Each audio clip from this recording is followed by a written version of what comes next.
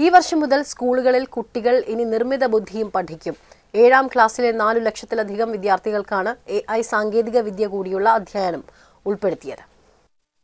നിർമ്മിത ബുദ്ധിയുടെ കാലത്ത് ഈ സാങ്കേതിക വിദ്യ പഠിക്കാതെ കുട്ടികൾ എങ്ങനെ മുന്നോട്ട് പോകും? വിദ്യാഭ്യാസ വകുപ്പ് തന്നെ എ ഐ പഠിപ്പിക്കുകയാണ്. ഏഴാം ക്ലാസ് വിദ്യാർത്ഥികൾക്ക് നിർമ്മിത ബുദ്ധി പരിചയപ്പെടുത്തുകയാണ് കമ്പ്യൂട്ടർ വിഷൻ അധ്യായത്തിലൂടെ ലക്ഷ്യമിടുന്നത്.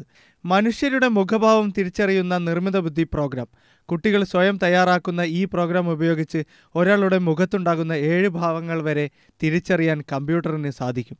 സൈബർ സുരക്ഷയുമായി ബന്ധപ്പെട്ട കാര്യങ്ങൾ fake news identification fact checking ഇങ്ങനെയുള്ള വളരെ അത്യാവശ്യമായിട്ടുള്ള കാര്യങ്ങളാണ് പാഠപുസ്തകത്തിൽ ഉൾപ്പെടുന്നത്. ഈ ആർട്ടിഫിഷ്യൽ ഇന്റലിജൻസ് കുട്ടികൾ മെഷീൻ ലാംഗ്വേജ് ഉൾപ്പെടെ നാല് ലക്ഷത്തോളം കുട്ടികൾ പഠിക്കുന്നത് ഇന്ത്യയിൽ തന്നെ ആദ്യമായിട്ടായി ആണ്. പ്രോഗ്രാമിംഗ് നിർമ്മിത ബുദ്ധി റോബോട്ടിക്സ് തുടങ്ങിയവ പരിശീലിക്കാൻ സമാനമായ പിക്ടോ ബ്ലോക്ക് പാക്കേജാണ് പാഠപുസ്തകത്തിൽ ഉൾപ്പെടുത്തിയിരിക്കുന്നത്. ഇതിനായി ആവശ്യമായ മുഴുവൻ സോഫ്റ്റ്വെയറുകളും കൈറ്റ് സ്കൂളിലെ ലാപ്ടോപ്പുകളിൽ ലഭ്യമാക്കും.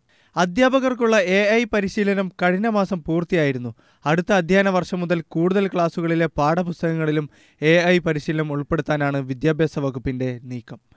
ഏഷ്യാനെറ്റ് ന്യൂസ് തിരുവനന്തപുരം.